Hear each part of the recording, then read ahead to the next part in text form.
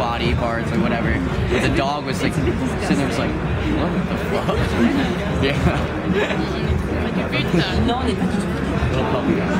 yeah.